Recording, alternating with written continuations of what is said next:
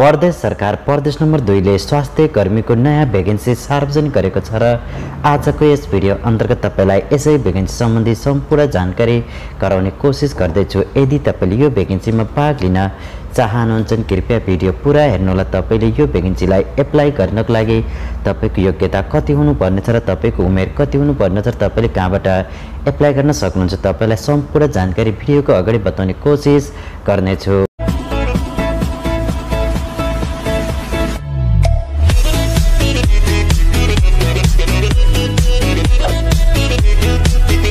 Video सुरु गर्नुभन्दा पहिला यो भिडियोलाई लाइक गर्नुहोला र यदि तपाईँहरूलाई भिडियो राम्रो लाग्यो भिडियोलाई सेयर पनि गरिदिनुहोला र यदि तपाईँहरू हाम्रो युट्युब च्यानलमा पहिलोचोटि हेर्दै हुनुहुन्छ भने तल दिएको सब्सक्राइब बटनलाई क्लिक गरेर अल नोटिफिकेसनलाई प्रेस गर्न नबिर्सिनुहोला कि आगामी यस्ता भिडियो सबैभन्दा पहिला हेर्न सक्नुहुनेछ।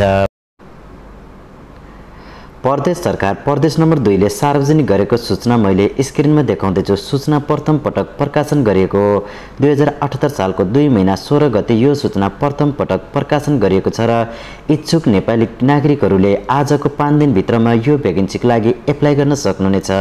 एप्लाई तपाईँले सिराहा अस्पताल लाहानमै गएर तपाईँले एप्लाई गर्नुपर्नेछ। यदि तपाईँहरू यसको वरपर हुनुहुन्छ भने तपाईँले यो भ्याकेन्सीको लागि एप्लाई गर्न सक्नुहुनेछ। त्यसै गरेर तपाईँहरूले अब यहाँनिर भ्याकेन्सी देख्न सक्नुहुन्छ। भ्याकेन्सीमा स्टाफ नर्स तिनजनाको रहेको छ र अनमीको एकजनाको रहेको छ। यदि तपाईँहरूले यो भ्याकेन्सीमा भाग लिन चाहनुहुन्छ तपाईँले धेरै सजिलो तरिकाले एप्लाई गर्न सक्नुहुन्छ। त्यसै गरी तल देख्न सक्नुहुन्छ परीक्षाका किसिम बनिएको छ अन्तर्वार्ता रहेको छ र परीक्षा केन्द्र बनिएको छ। लहन अस्पताल लहन भनेर तपाईँले देख्न सक्नुहुन्छ र त्यसै गरी दरखास्त फर्म बनेको छ।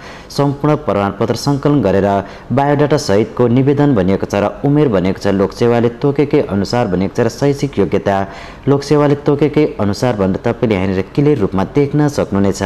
त्यसै गरी तपाईँले पेस गर्नुपर्ने कागजात भनेर तपाईँले यहाँनिर क्लियर रूपमा हेर्न सक्नुहुन्छ र त्यसै गरी अन्तर्वार्ताको मिति भनेर तपाईँले यहाँनिर हेर्न सक्नुहुन्छ। दुई हजार अठहत्तर सालको दुई महिना एक्काइस गतेका दिन अस्पतालको सूचना पार्टीमा टाँसिनेछ भनेर तपाईँले तल देख्न सक्नुहुन्छ। सेवा सुविधा भनेर तपाईँले यहाँनिर देख्न सक्नुहुन्छ। प्रदेश सरकारले तोकेकै अनुसार भनेर तपाईँले यहाँनिर हेर्न सक्नुहुन्छ। यदि तपाईँहरूले यो भ्याकेन्सीमा भाग लिन चाहनुहुन्छ भने तपाईँले एप्लाई गर्न सक्नुहुन्छ। एप्लाई तपाईँले लहन अस्पतालकै कार्यालयबाट गर्न सक्नुहुन्छ। यदि तपाईँहरू इच्छुक नेपाली हुनुहुन्छ भने तपाईँले आजको पाँच दिनभित्रमा यो भ्याकेन्सीको लागि एप्लाई गर्न सक्नुहुनेछ।